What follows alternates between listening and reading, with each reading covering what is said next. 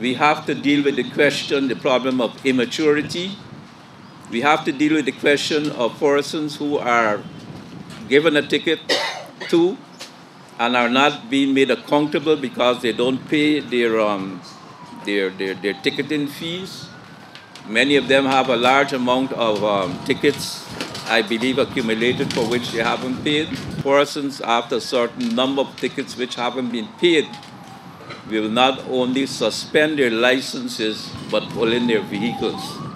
because it cannot continue. I'm requesting the police force to get